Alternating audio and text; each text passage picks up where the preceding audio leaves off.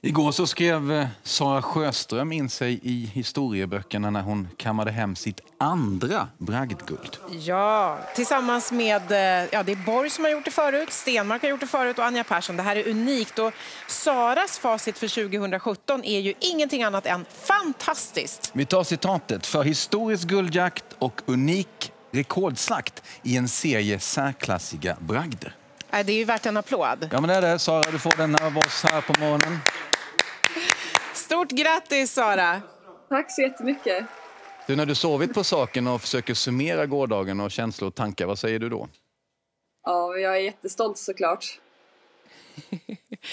vad, skulle du själv, vad skulle du själv säga om det år du har haft bakom dig, om du nu ska försöka beskriva det med några ord bara?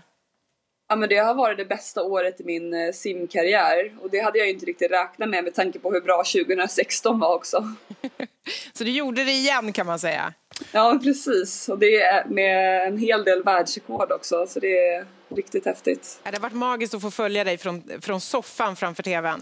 Du, vad tänkte du då kring det här med bragdguldet? Du hade ju en hel del konkurrens och folk har ju ja. pratat nu här efteråt. Vad, vad tänkte du den här gången? Ja men det var ju supertuff konkurrens som du sa, det brukar det ju vara varje år liksom. Eh, nej så jag var...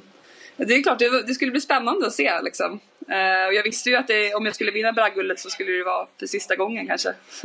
Ja, men så är det. Vi kan prata om de här reglerna lite senare. Men vi pratar om, om simningen och det som har tagit dig upp till den här eh, eh nivån. Tilde, du har en erfarenhet. Ja, men visst. Eh, det var så här att i somras så blev eh, min sexåring Elia inspirerad. Tog sina första crawltag kan man väl säga. Och det kanske inte var helt hundraprocentigt, men det var ändå så gott han kunde. Och du kommenterade detta, Sara, och det betydde så oerhört mycket. Ja, var jätteduktig. Sådär. Men du, vad är det som har gjort att du har gått från det här, för så får man väl gissa att det såg ut för dig också i början, till där ja. du är idag? Gud, alltså tiden har gått så himla fort. Jag har simmat mycket och ja, man börjar väl där liksom med de där få simtagen och sen så helt plötsligt sitter man här känns det som. Men eh, mycket hårt jobb och, och eh, ja, väldigt kul. Jag kan, jag kan, säga att för, för Elias del så han slängde armpuffarna när jag berättade vilken kommentar han hade fått av dig. Så du har gjort stor skillnad för många, kul. bland annat för honom. Du, vad händer nu Sara? Ja, det är ju EM nästa vecka så att eh, förbered förberedelserna är ju i full gång. Jag körde ju även tre träningspass igår eh, mellan bragdutdelningarna så det är mycket träning nu.